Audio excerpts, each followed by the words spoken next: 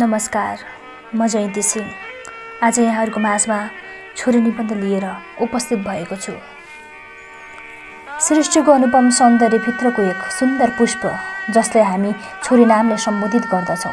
छोरी त्यो नाम हो जसले आफ्ना खुसी इच्छा चाहना आफ्नो लागि नभई अरूको लागि छोड्छे बलिदान गर्छे।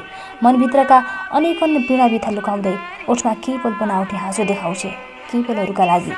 जन्मेदेखि कैयन वर्षसम्म जीवन व्यतीत गरेको त्यो घर त्यो दैलो त्यो समाज सब छोड्छे केवलहरूका लागि। त्यसैले पनि होला देवी स्वरूपा जन्मेकी बालिकालाई यो समाजले छोरी नाम दिएको। हामी सुन्दै आएका छौँ देवी भगवती काली लक्ष्मी सबै एक नारी थिए। फरक यति छ उनीहरू आजन्मा थिए अनि छोरी जन्मिनै पर्छ। एक बालिका यो दुनियाँमा आएर सबैभन्दा पहिला एक छोरी बन्छे। आफ्नो आमा बुबाको विपत्तिमा ढाल बनेर उभिन्छे एक भाइका लागि दिदी बहिनी बनेर माया प्रेम प्रदान गर्दछे र पछि कसैकी पत्नी बनेर पतिका साथसाथै उसका पारिवारिक हरेक सुख दुःख राम्रा नराम्रा परिस्थितिमा साथ निभाउँछे। सदैव विभिन्न भूमिकामा आफ्नो जीवनलाई व्यतीत गरेकी छोरी कहिले बहिनी कहिले एक असल जीवन सङ्गिनी कहिले एक असल साथी र कहिले एक आमा बनेर प्रेरणाको स्रोत बनेर जीवनलाई यापन गर्दछे विभिन्न स्वरूपमा देखिएकी छोरी उसका हर स्वरूपमा सम्माननीय प्रेम र कदरकी योग्य छे। यसरी विभिन्न स्वरूपमा प्रेम गर्न र पुज्न योग्य छोरीको आज हाम्रो समाजमा खस्किलो अवस्था छ। हो त्यही छोरीको प्रसङ्ग म केलाउँदैछु। समाज बदलियो मान्छे बदलिए तर यो समाजको छोरीप्रतिको व्यवहार बदलिएन। यो समाज जहाँ कहिले छोरी स्वरूपा देवी भगवतीको पूजा आराधना गर्दथ्यो। त्यही समाज आज छोरा र छोरी बिचको विभेदले छोरीको अस्तित्वमाथि आघात गरिरहेको छ। पुरुष प्रधान हाम्रो समाजले अझै पनि छोरीलाई बोझ नै सम्झन्छ। त्यसैले होला आज छोरी जन्म नपाउँदै गर्भमै मारिएकी छन् अनि जन्मन पश्चात नालीमा कुना कन्तरामा अबोध असहाय रूपमा फालिएकी छन्।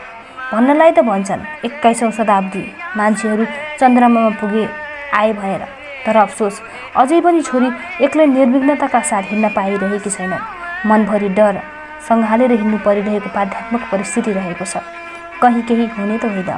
कसैले मलाई नराम्रो दृष्टिले हेरेको त छैनन्। म यहाँबाट सकुशल घर त पुग्छु होला नि जस्तो अनेकन डरहरूले छोरी दिनहुँ छटपटाइरहेकी छन्। यो पापी संसारमा छटपटाइरहेकी छन्। सङ्घर्षमय जीवन बिताइरहेकी छन्। आखिर कहिलेसम्म? यो समाजले छोरीलाई केवल भोग्य साधनको रूपमा मात्र हेर्ने हो। के छोरी सृष्टि यस छोरी यो सृष्टिमा पुरुषको भोग्य मेटाउनुका निमित्त जन्म भएको हो? के छोरीको आफ्नो स्वतन्त्र अस्तित्व छैन? आखिर कहिलेसम्म छोरी गिद्धे नजर रूपी पुरुषहरूद्वारा बलात्कृत हुनुपर्ने हो? आखिर कहिलेसम्म आफ्नो अस्तित्व गुमाउनु पर्ने हो? आखिर कहिलेसम्म यो सृष्टिको आधार महिला र पुरुषबाट जीवित रहेको छ?